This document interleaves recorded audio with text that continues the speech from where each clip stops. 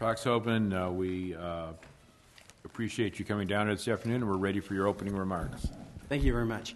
Thanks for inviting me, and thanks for taking all the time that I know you have to do to go through all the materials of over 60 people. I look at my writing samples and application alone and multiply it times 60, and I know what you're going through. So thanks very much to you for making that effort. Uh, what I'd like to do is just give you just a real short fingernail sketch of my background and then kind of discuss what I think I could bring to the court if I'm appointed to the court, and then open it up for questions. I graduated summa cum laude from uh, Morningside College in Sioux City in 1974. I received my Juris Doctor at the Drake Law School in 1977, where I was on the law review. I practiced law in Des Moines for 23 years in private practice. I did everything except taxes and bankruptcy. That pretty well sum, summarizes it. I was a litigator, so I was in court a lot, literally having uh, tried hundreds of jury trials, many, many uh, non jury trials and hearings. Uh, and again, virtually anything that would go to court, I did, and even a lot of office practice, I did.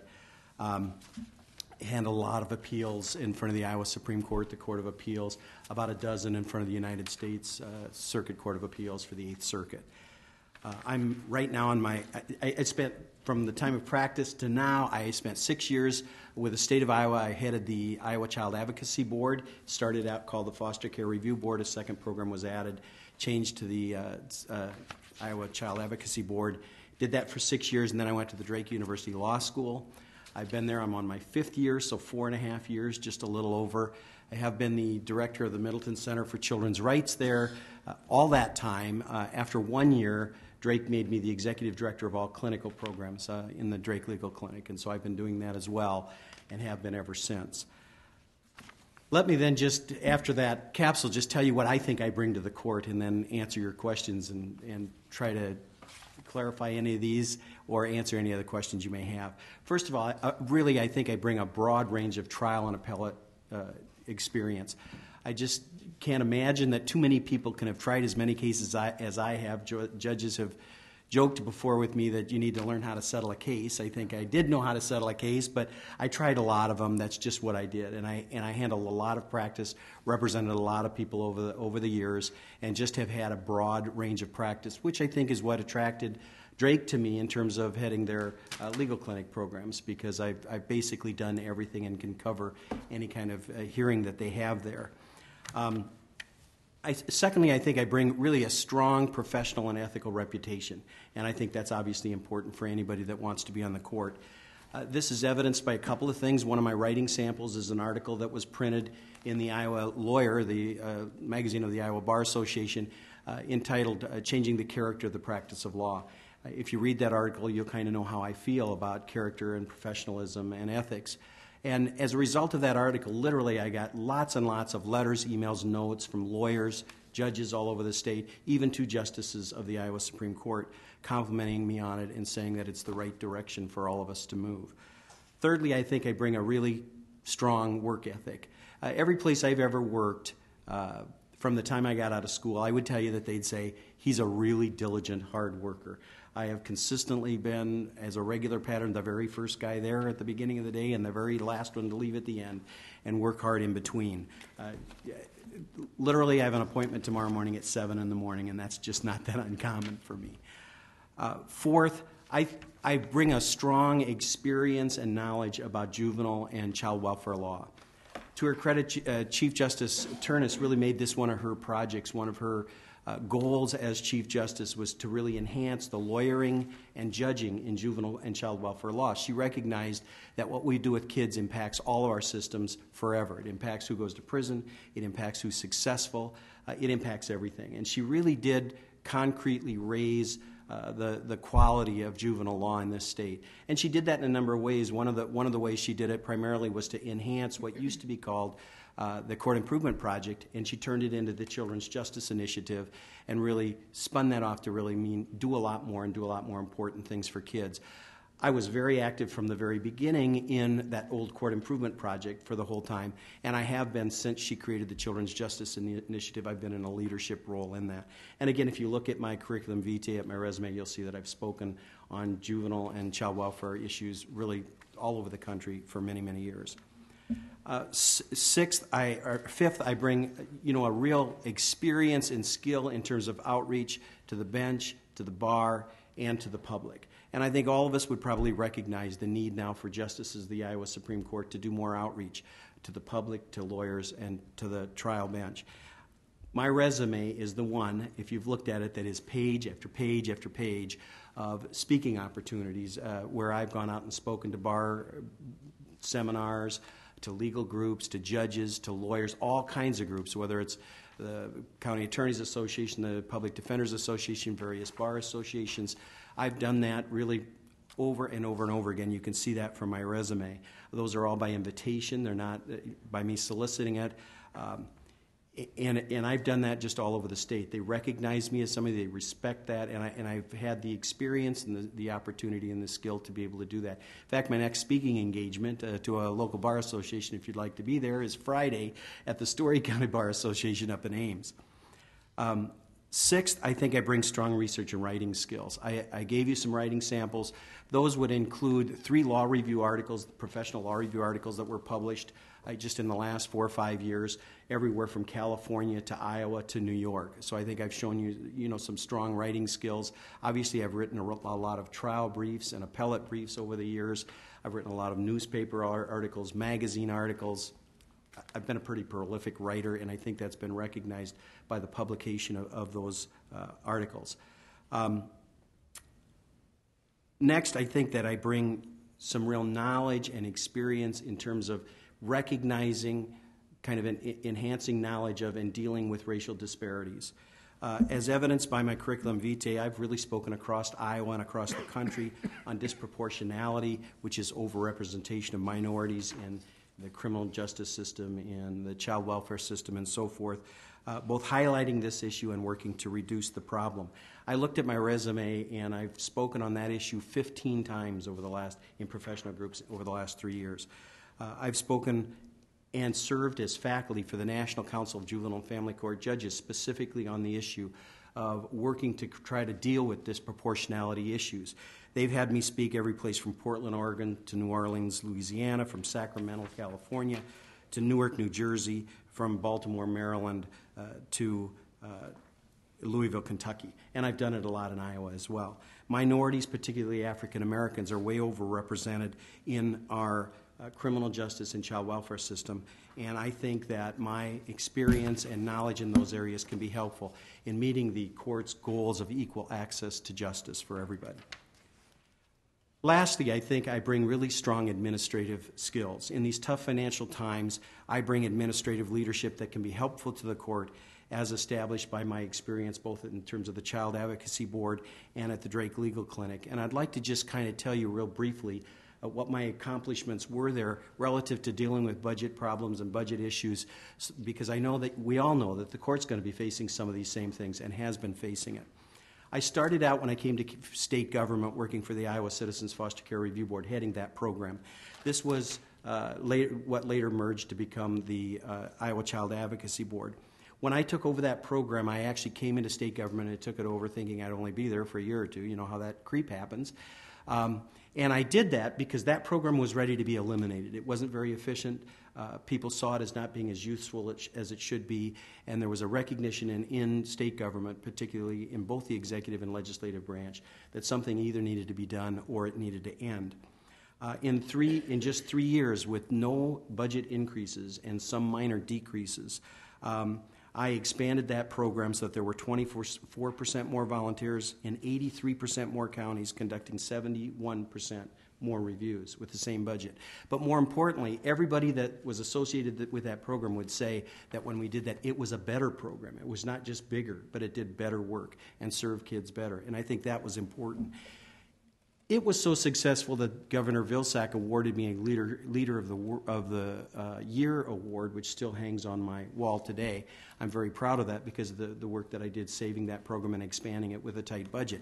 It was also recognized really across the state in various newspaper articles. I pulled one out, and it, you can probably see the headline that says, An Example of Good Government at Work. That was a, detail of what we did to expand and improve that program with, with no increase in budget and, in fact, small decreases.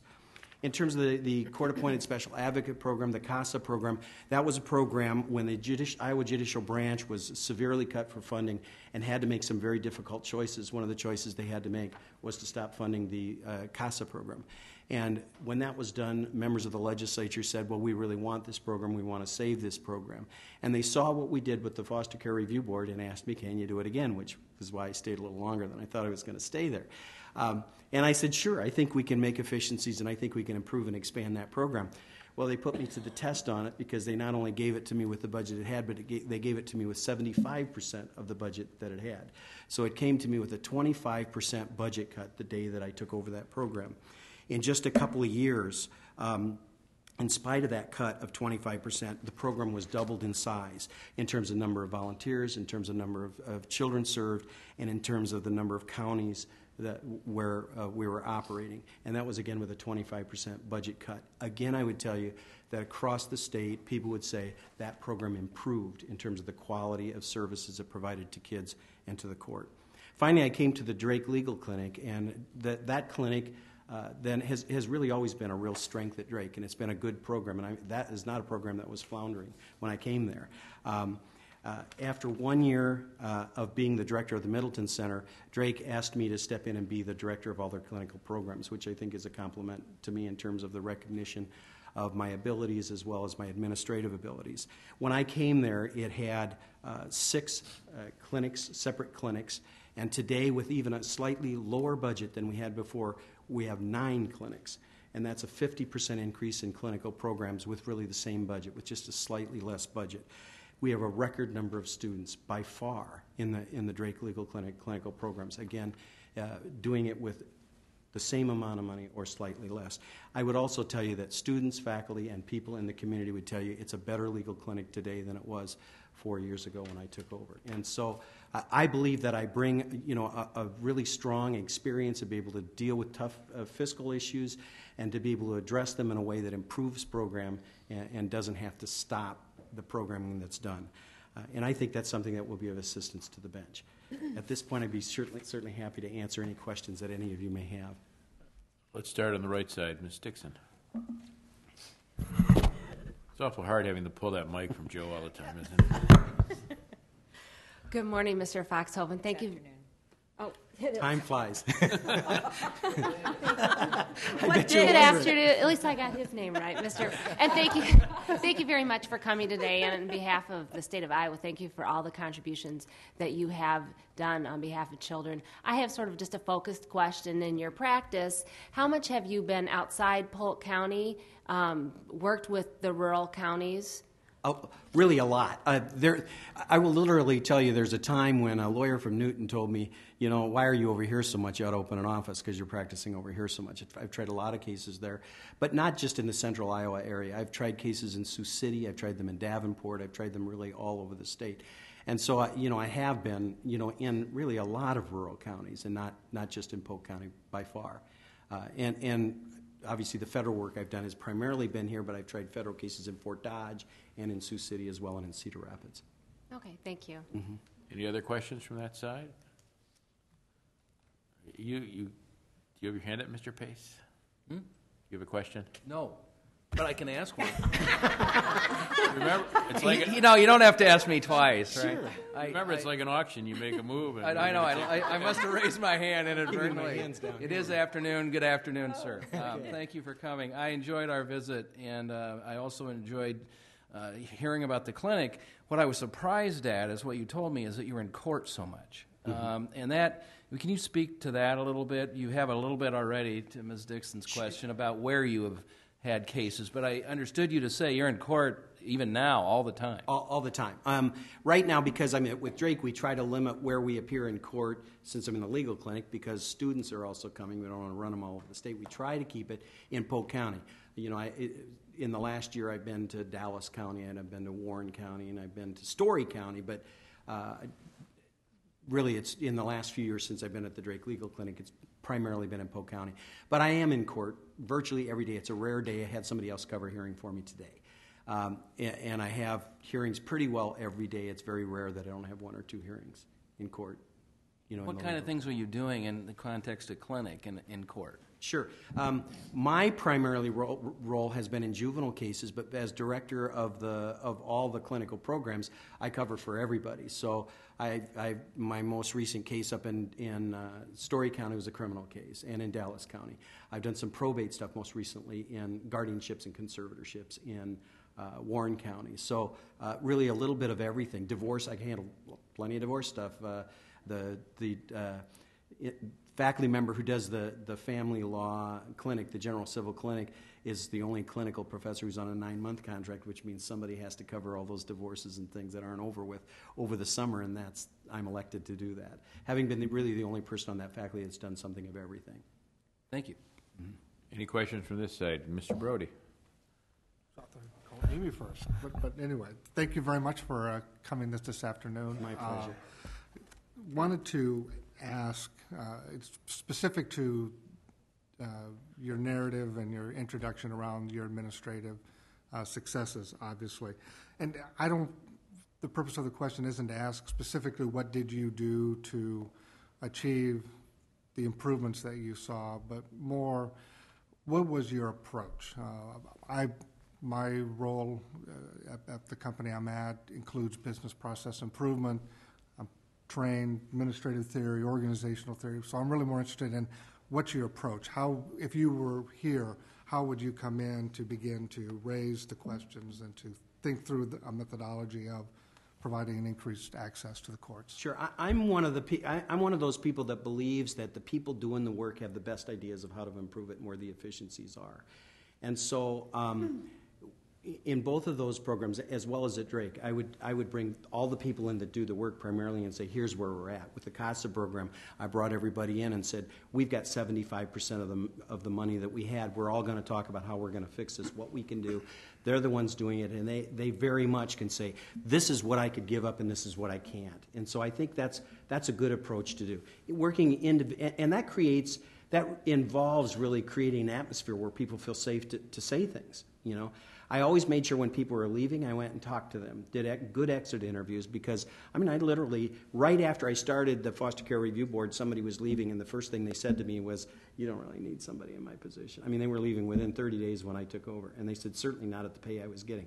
Nobody would have said that to me if I didn't talk to them when they were leaving. So I think we needed to hear that. I also heard, went around really individually when I took over those programs and basically said to people individually, what is driving you nuts about your job that I could take? What do you hate about your job? What makes you not love doing it? You know, and and a lot of the things that they had were no cost and were easy to eliminate. And by eliminating those, they saw that I cared about you know their their success. And, and I think for the most part, the judicial branch is in a beautiful situation in terms of everybody that, that works for the judicial branch, and I will say that from my experience and from the heart, really wants to do the best they can do. And so I, I think with that in mind, you don't have to worry about who are the people that don't care. They all care. And so it's a matter of getting them together and making them feel safe to be able to say, uh, here's what changes I think we can make that we could kind of do some efficiencies that can make, make us save some money. And I, I think that's the way to do it. Even if that would be the same idea I would have come up with on my own, they'll make it work because they feel vested in having created the, the program and the way to do it. So that's always been my MO. Thank you. Ms. Gogerson? Thank you, Mr. Foxhoven. It's really great to have you here. Thanks. And I, might I say that your energy is infectious and something we all much needed, I think, this afternoon. So Good. thank you for that. um, as I, I know you're aware, my law partner is one of your former students at Drake and worked in the clinic with you, I believe.